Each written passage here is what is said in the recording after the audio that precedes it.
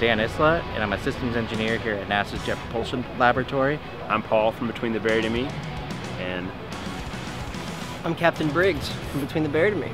as you can see, Dan is Dan Briggs is suited up and ready for battle. We've been touring uh, JPL now for the last couple hours. It was obviously a tremendous opportunity, probably one of the greatest, if not the greatest opportunity the band has had uh, up until this point. Yeah. And just some amazing, mind-blowing stuff. Thanks to Dan and everybody here at JPL for having us. Uh, we learned so much and uh, had a great time. Some new inspiration for uh, possible future music. Yes, definitely. Yeah. As well The inspiration. Yeah. The wheels are turning. inspiration for us engineers here at JPL as well. We have a small metal following, so pushing the limits, space, time, engineering. and music.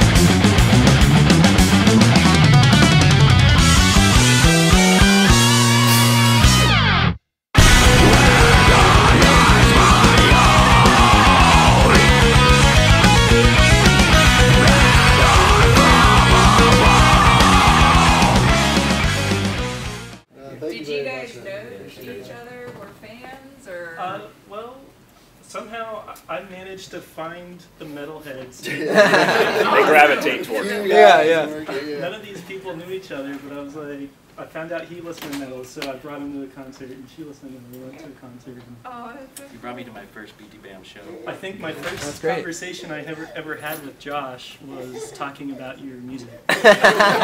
Um, Well, hopefully one day we will play on Mars. you guys can work on it. Maybe not the next mission, but the one after. Shoot the DVD on Get us up Mars. there. Um, I, I did vouch to send one of your songs to the rover. Um, okay, I don't know if you guys have heard of will.i.am, but Oh, um, Of course. he wrote a song for the mission, Oh, God. and uh, you know, but it was you know to promote NASA and the project, Yeah. and um, we encoded that file as an MP3 and then wrapped it in space grade format or whatever. And we radiated it from the Deep Space Network all the way to the rover. That's awesome. And then the rover sent it back. So it made like a round trip. on planetary- That's amazing. And then we some played it here on aliens Fox. are listening to it. Yeah, yeah. Yeah, so they were listening. That's wild. Maybe you can answer this for me, since obviously, like on Mars, I guess you know the atmosphere is different. You know, maybe the, the gravity or whatever is different. How would how does music?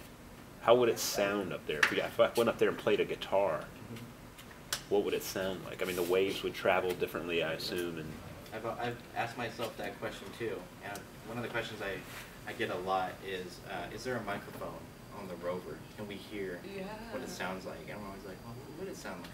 Because the density of the atmosphere is about one one hundredth of that on Earth. right, And as you guys know, sound waves are perturbations in air Right. molecules, pressure waves. So um, I think it might sound like higher pitch. higher pitch, yeah. Yeah. So like if I play if I play a G major chord down here, it sounds a certain way. It's going to sound completely different up there. Right? Exactly, because of the atmosphere. So we're going to have to tune differently, right? and in space, obviously, you can't. Andy, can you? Andy, take note. Yeah. Put it like Mars tuning. Just Mars tuning. That would be awesome. mars Just write a song in Mars tuning. Yeah. Really cool. Just what it sound like in Mars. Hmm, yeah. start doing our shows. I could Mars probably time. sit down and we could do the calculations and figure out, give like sample frequencies, like write a little converter. Yeah, Different time. there's every got to be some sort of algorithm to figure out this. Yeah. I love it. This is cool. This could be the next sound on that.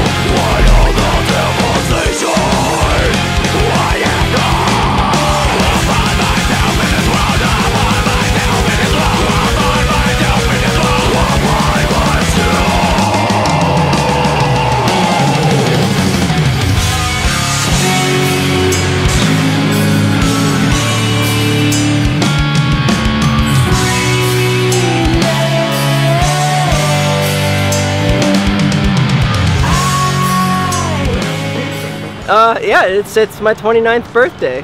This, this is the greatest birthday present that uh, that I could ask for. You Got to wear your spacesuit Get to wear my space suit. And a space lab. Yep. Basically. So. my birthday suit underneath. And his birthday suit underneath, as you can see. The taco meat is in full effect. And uh, Dan, ear to ear grin. yeah. This guy's happier than the proverbial pig and shit. That's a great day. Well, it was awesome having you guys here. Thank you so at the much. Jet Propulsion Lab It means a lot. Can't wait to hear more music and rock out tonight's show. Awesome. Perfect. Great day. Uh, I've got this uh, celestial globe. By day, it's just a, your standard run-of-the-mill globe, but at night, it turns into a map of the constellations. So I'm pretty pumped up about